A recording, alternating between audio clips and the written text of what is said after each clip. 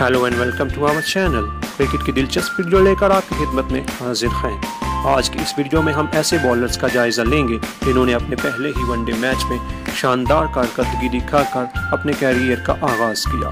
अब तक one day cricket में चौवन बॉलर्स ऐसे आए हैं, जिन्होंने अपने पहले ही वनडे मैच में चार या चार से ज़्यादा विकटें हासिल करने का कारनामा सर अंजाम दिया। आज की इस वीडियो में हम टॉप फाइव बॉलर्स का जायज़ा लेंगे। टॉप फाइव की इस फहरिस्त में पांचवा नंबर श्रीलंका के शाल करनाइन का है। शाल करनाइन ने न्यूजीलैंड के खिलाफ उन्नीस सौ चौरासी में अपना डेब्यू किया और टर्न फर्नांडो स्टेडियम में खेले जाने वाले इस मैच में 26 रन के इवज पाँच विकेटें हासिल की। चौथा नंबर ऑस्ट्रेलिया के एंथोनी डोडमेड का है।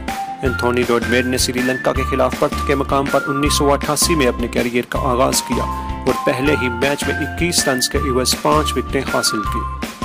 तीसरे नंबर पर निमीबिया के जॉन फ्रीलिंक हैं। जॉन फ्रीलिंक ने ओमान के खिलाफ 2019 में जोहानसबर्ग के मकाम पर खेले जाने वाले मैच में अपने कैरियर का आगाज़ किया और पहले ही मैच में तेरह रन के इवज पाँच विकेटें हासिल की। दूसरा नंबर वेस्ट इंडीज के फिडल एडवर्ड का है। फिडल एडवर्ड ने 2003 में जिम्बाब्वे के खिलाफ हरारे के मकाम पर अपने कैरियर का आगाज़ किया और पहले ही मैच में 22 रन देकर छह विकटें हासिल की।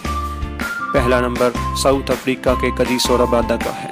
कजीसोराबादा ने 2015 में बांग्लादेश के खिलाफ अपने कैरियर का आगाज़ किया। शेर बंगला स्टेडियम में खेले जाने वाले इस मैच में रबादा ने 16 रन के इवज छः विकटें हासिल की और एक नया आलमी रिकॉर्ड कायम किया। उम्मीद है कि आपको यह वीडियो अच्छी लगी होगी। अगर ये वीडियो आपको पसंद आई है तो लाइक का बटन प्रेस कीजिए।